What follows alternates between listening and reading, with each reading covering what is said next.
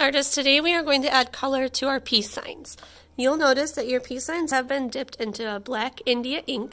I recommend that you double check the back for your name or code to make sure that you have the right peace sign.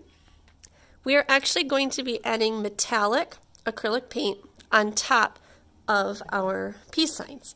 This is going to make our surface area metallic while the textured recesses of our project will still remain black. Acrylic paint will stain your clothes, so make sure that you're careful or that you use a paint smock. And just like any other paint, we don't want to mix these paint colors in our palette. We want to make sure that we're using a messy mat, a sponge, and water when we're changing colors. So it's very simple. All you do is dip your brush into the acrylic paint, and you don't need a lot because it's a very thick paint, and you are just adding your color right to the surface. You don't need to push hard because you don't want the paint to get into the crevices.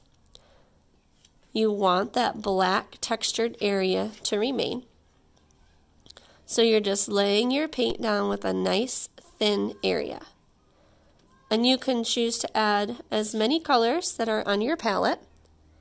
Just remember that when you switch colors, you use the messy mat, the sponge, and the water to help you.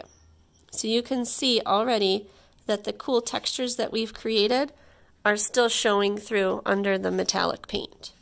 So I'm ready to try a new color. I think I want the center of my peace sign to be this pretty color. So I'm going to try to get off as much extra paint that I might have had. I'm going to wipe that brush on my messy mat first to get as much off as I can. Then I'm going to wipe my brush onto the sponge to get off any more before I get fresh water. I can go back and forth on the sponge and the water to help as well. Once you know that you have a nice clean brush, you can move on to your second color. Remember you don't need a lot. And just a thin layer so that you can still see your black ink that's stuck in the recesses of the textures.